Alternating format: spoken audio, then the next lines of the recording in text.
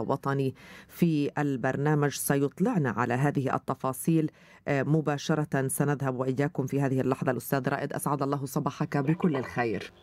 صباح الخيرات أهلا ست وفاء أهلا بك. أهلا وسهلا بك. يعني حدثنا أكثر عن هذه المدرسة التي هي بالتأكيد لتنمية القدرات والمهارات وكذلك عن شروط ومعايير يجب أن تنطبق في المدارس التي يطبق في هذا البرنامج. يعطيك العافية صباح الخير لكم ولتلفزيون الفجر وكل طاقمه المميز دائما. أهلا وسهلا. لا شك إنه هنالك تعليم جديد يعني قاعد بيحصل في المدارس عندنا. وكان في عندنا فكرة اللي هو نظام تعليم STEM STEM هو تعليم يدمج تعليم الرياضيات والعلوم والهندسة والتكنولوجيا معا في داخل الغرفة الصفيه والهدف الأساسي منه إنه ننقل الطالب من لغة المعرفة إلى إلى لغة الأداء. فبدنا نوظف الطالب التعليم التعليم اللي بيتعلمه الطالب داخل الغرفة الصفية إلى مشاريع بتحل مشاكل بيعانيها الطالب في المجتمع اللي حواليه. لأن هذا المشروع هو مشروع ضخم وقعت وزاره التربيه والتعليم اتفاقيات ضخمة مع الممولين البنك الدولي واليونيسيف وإلى آخره نعم. بقيمة 20 مليون دولار لمدة تسع سنوات. فهو مشروع طويل الأمد. الهدف الأساسي منه كل زي ما حكيت قبل شوي نقل المعرفي إلى أداء بدنا الطالب المعلومات اللي بتعلمها يوظفها في حل في مشاريع يحل ما فيها مشاكل واقعية. المدارس اللي تم اختيارها الآن هي عينات، تم اختيار ثلاث مدارس في كل محافظة من محافظات الوطن يطبق فيها هذا النظام. المدارس اللي تم اختيارها كان عندنا ثلاث مدارس، مدرسة ذكور اللي هي ذكور قفرين الثانوية، ومدرسة إناث بنات باقة الشرقية الثانوية، ومدرسة مختلطة اللي هي مدرسة كفر زيباد الثانوية المختلطة. هلا هذه المدارس تم اختيارها بناء على وجود غرف أو إحنا بنسميها بلغتنا مختبرات تكنولوجيا فيها معدات وهذه المعدات يمكن استخدامها وتوظيفها في إنجاز المشاريع اللي الطلاب بيكتشفوها أو اللي الطلاب بدهم يشتغلوا فيها. نعم. طب إذا أردنا أن نتحدث كذلك عن الطلبة أنفسهم يعني من أي المراحل الدراسية يستطيعون الانخراط مع هذا البرنامج أو هذه المدرسة؟ بالإضافة إلى هل هنالك يعني مواصفات معينة مثلا؟ أن يكون متفوقا في مبحث ما؟ أن يكون لديه قدرات على الاندماج مع برنامج هذه المدرسة؟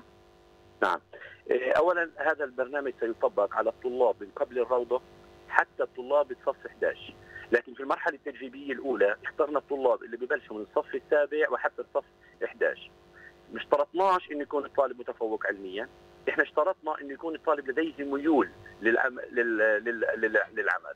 ممكن يكون الطالب متفوق ولديه ميول بس ما كان معيارنا هذا الحكي. هلا إحنا كنا نفكر إنه كيف بدنا نفعل الطلاب بالصورة المناسبه نعم. طبعا وزارة التربية والتعليم مشكورة وفرت لنا معدات ووفرت لنا مواد ليستخدموها الطلاب في التدريب.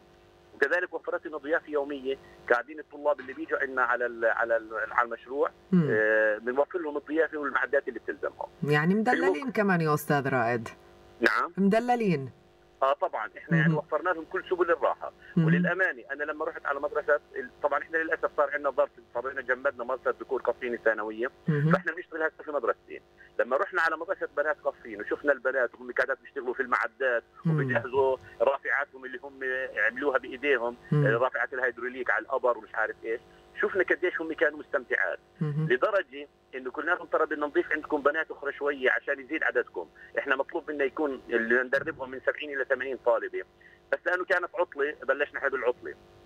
فكانت في إجازة الطلاب. يعني كان الإقبال مش زي ما إحنا بدنا. فبدايه العام الدراسي في طالبات انضموا. طالبات القديمات قالوا لا إحنا صرنا ماخذين مهارات عالية وبدناش نبدا من الصفر وخليهم ينضموا لمجموعاتهم لحال فيعني كان في إقبال من الط... أو في يعني حماس من الطالبات بطريقة مش طبيعية للعمل في هذا المشروع. جميل جدا. حتى أن هنا الآن بعض الأهالي يعني الأخت ديما سلمان تقول مشروع حلو ومميز وتجربة كثير كانت حلوة وجديدة لأولاده ويعطيكم ألف عافية. تفاعل الأهالي أو هنا إلى أي مدى أنتم بحاجة لتعاون من قبل الأهالي معكم حتى ينجح هذا المشروع؟ أخت وفاء إحنا اشتغلنا في STEM في السنوات السابقة مع جامعة خضوري وهي سميناها أيام STEM الاستكشافية. صحيح. وكانت هذه ال ال ال الأيام هي بالاعتماد الكامل على الجامعة وعلى المنشطين اللي في داخل الجامعة. مهم. وإحنا طبعا بنشكر جامعة خضوري على استضافتهم لنا بس المفاجئ إنه إحنا السنة العام كان الإقبال أقل. السنة اجونا أولياء أمور على التربية إنه يا عم إحنا بدنا نسجل أولادنا في هذا المشروع. مم. العام سمعنا شو الطلاب عملوا؟ وبناء عليه إحنا معنيين انهم أولاد ليكونوا في هذا المشروع منخرطين فيه. لذلك نتمنى عليكم فكان مطلوب منا 60 طالب لجامعة خضوري يمكن سجلنا 85 مم. ولو بدنا نكمل وصلناهم أكثر من 100 بس نعم. للأسف المختبرات والقاعات والأماكن اللي إحنا بن- بنتواجد فيها ما بتستوعب هذا العدد كلياته. فإحنا في عندنا إقبال آه، على موضوع السم خاصة في الفترة اللي كانت قبل يمكن أسبوعين أنهيناها في جامعة خضوري مهم. إحنا للعلم آه، ألفنا دليل لتدريب المعلمين اللي بدهم يشتغلوا مع الطلاب في مختبرات السم.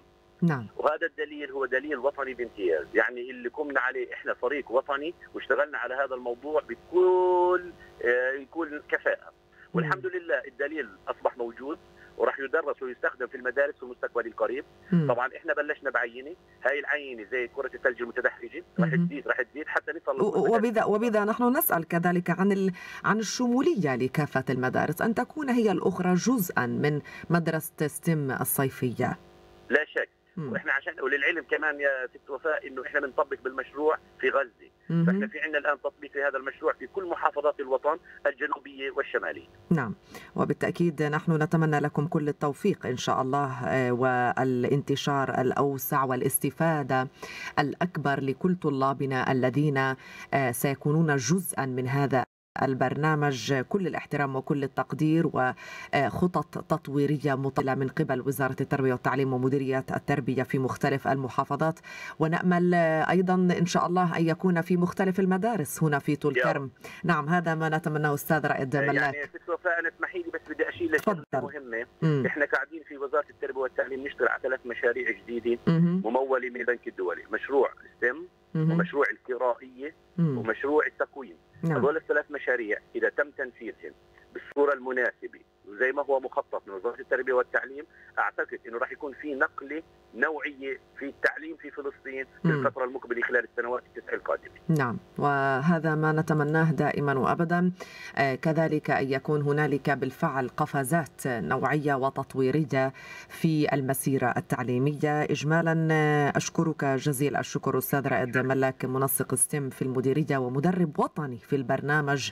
وهذه الروح المعنوية العالية دائما وابدا اعتدناها آه، من خلالك وعليك بالتأكيد. ونتمنى كذلك آه، تفاعل الأهالي مع مثل هذه المشاريع التربوية آه، المميزة. نواصل مع حضراتكم في مشوارنا وحتى هذه اللحظة بصراحة هنالك أنباء وكما تفيد وزارة